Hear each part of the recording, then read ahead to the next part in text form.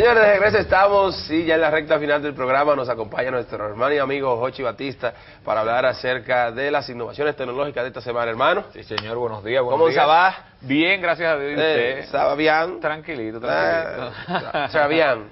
Bien. Eh, tú sabes que yo estudié francés. Sí. Sí, estudié, pero no emprendí nada. No, No, yo lo oigo bien el francés, lo único que no lo hablo. Sí, yo Ah, lo oigo tú bien. entiendes, No, tú no, entiendes. no, lo No, tú oigo, lo oyes, lo oigo bien. Sí. No, no, Francés de oído, No entiendo de nada de lo que dice. Vamos a ver, caballero, ¿qué tenemos para hoy? La tecnología, eh, ¿qué dice la- el mundo de la tecnología? Bueno, mira, eh, hay- este es un tema que te va a tocar de cerca. Tú tienes niñas ya medio grandecitas, Sí. si se quiere.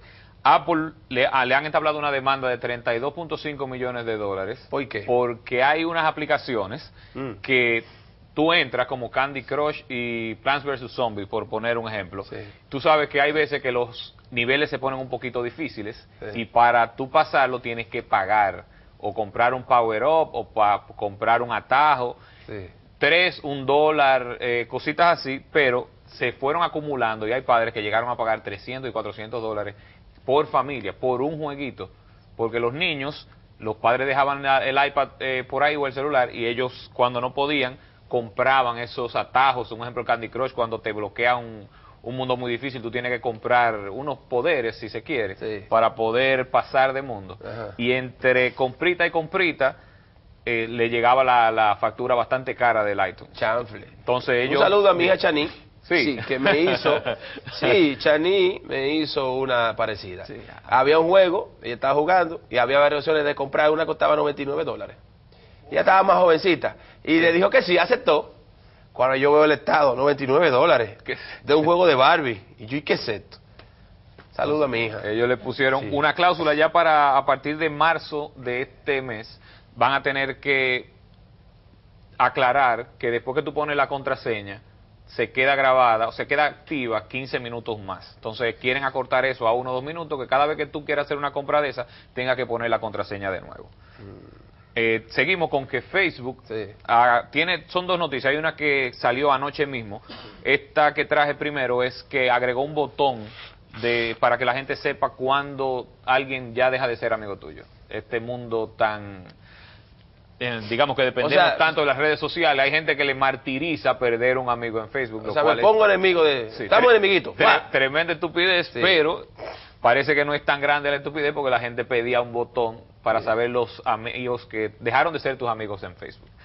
Uno que sí es, algo que sí es, eh, no está en la diapositiva, pero que sí es importante, fue que por el, con el boom que ha tenido Facebook, de Twitter, perdón, con los hashtags, Facebook va a in- a incorporar los hashtags.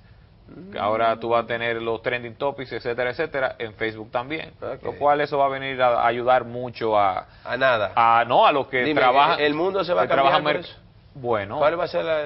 los trending topics ayudan mucho mercadológicamente a las empresas entonces tú puedes poner un ejemplo con el consumidor consumidor electrónico un ejemplo Sí. y hoy estamos hablando de, de Facebook Hashtag La- Facebook. hashtag Facebook o consumidor electrónico eso puede hacer trending topic y hacer que suba la marca Sí. ese tipo ese tipo de Está cosas bien eso. Seguimos con que Audi está desarrollando un sistema casi listo, un sistema que puede predecir dónde habrá un estacionamiento libre.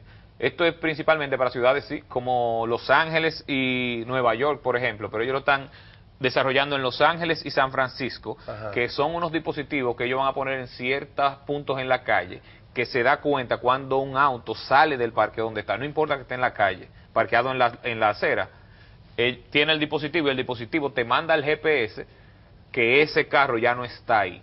Y que, te, hay que hay un parqueo disponible. Exactamente, que hay un parqueo disponible. Chanfle. Entonces, eh, fue la Universidad de Berkeley y el Instituto de Investigación de Transporte de la Universidad de Michigan Aquí- han desarrollado esto en Android. Pero Android, Audi está un poco tardío. Aquí en República Dominicana ya tenemos ese sistema. de los Pero parqueadores. hay parqueadores que parqueadores. te dicen, ven Moreno, aquí, ven, aquí. y tú te das, sí, te enseñan desde lejos. Lo único malo que hay que pagarle. 200, no, te dan un ticket. Te dan un ticket, una fotocopia Una fotocopia de un ticket. Yo te conté lo que me pasó. Un tipo, me, yo me iba a parquear en el Parque de las Luces y me apareció un tipo. Entonces, él, dependiendo del carro en que tú andas, él te da ticket. Él tiene eh, uno de 50, uno de 100, uno de 200. Y yo lo voy calculando.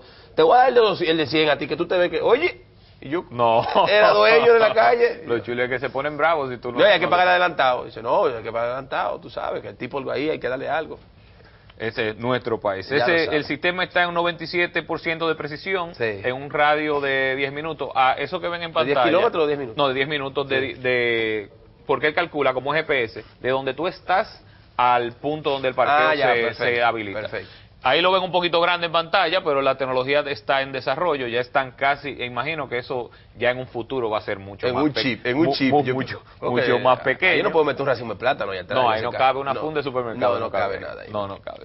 ¿Qué Y más? para terminar, algo que mucha gente me estaba hablando eh, por después que hablamos de las rayaduras de, de los celulares, Sí. me pidieron que hiciera algo para poner las PC más rápidas, que buscara que los celulares, que sí está bien, pero mucha gente quisiera saber por qué su PC están tan lenta. Sí. Entonces, la primera, eh, el primer caso normalmente es el disco duro está normalmente a su capacidad, porque el dominicano, en su generalidad, llena mucho la, o de canciones, de fotos y no va borrando, no le da mantenimiento. La computadora, como los vehículos, por poner un ejemplo, hay que darle mantenimiento. Sí. Entonces, su principal opción tiene que revisar el disco duro. Usted puede ir a- al, al C, al el, el disco C, Sí. eso es en mi computadora, usted entra a mi computadora y está el disco C, con un clic derecho, usted le da propiedades y le va a decir eh, la, la capacidad, cómo está, depende de cómo vea el, el pastel aquí, Sí. te lo dice numéricamente también.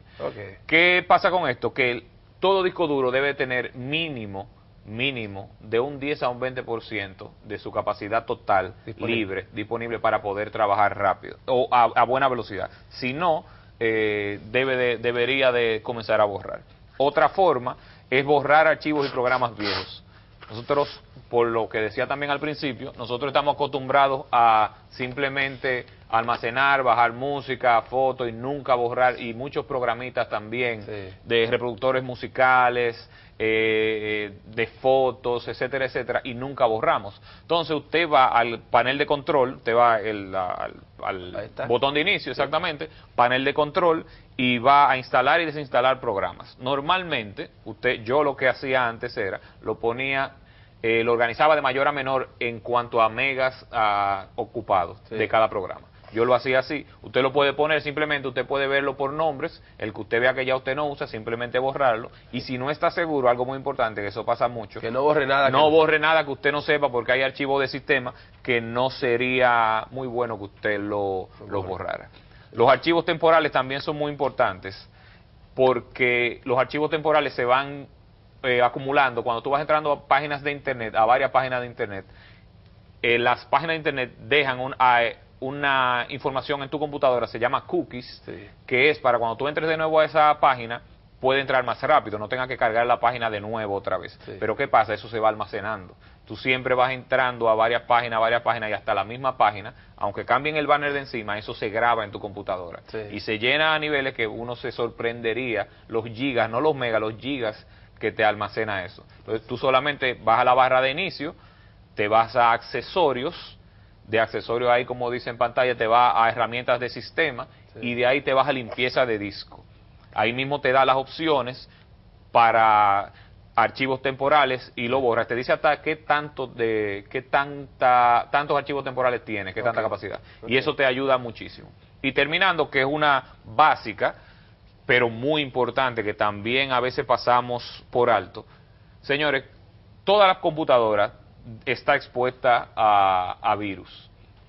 Siempre. Y hay personas, así como hay ingenieros en sistemas estudiando para hacer programas para bien, hay personas que saben mucho de sistemas haciendo virus simplemente para, para darse a conocer. Los hackers lo que quieren es darse a conocer. Y vamos un poquito más lejos. Hay empresas que son las fabricantes de los antivirus que s- son encargadas de hacer virus Exactamente. para que uno tenga que comprar el antivirus. Eso se hace mucho, Se hace aunque la mucho. gente no lo crea. Sí. Entonces, hay muchos antivirus que no voy a decir nombres, que son gratis. Bájelo, usted le hace un scan a su máquina y se va a dar cuenta si está o no está limpio. En caso de que sí, repita lo- los pasos anteriores y va a tener su máquina de un 30 a un 40% más rápido. Bueno, muchísimas gracias, hermano. Gracias a usted, ya hermano. Nos, nos pusieron la musiquita de que nos tenemos que ir, pero no podemos ir sin antes recordar que Arroz Campos es elegido por los dominicanos por su garantía, por su calidad y gran sabor. Arroz Campos es lo mejor de la naturaleza. Gracias, Ochi, por estar con nosotros. Recordar siempre este fin de semana, tranquilo, es pasarla bien. No hay mucho dinero, cogerlo suave. Recordar mi Twitter, arroba para topa, y arroba con el consumidor. Jochi, el tuyo es Arroba Jochi Batista. arroba Jochi Batista. Jochi mismo. Batista, sí, señor. Así es, así que muchísimas gracias, pasen un resto del día, sigan con la programación de Telesistema. Bye bye.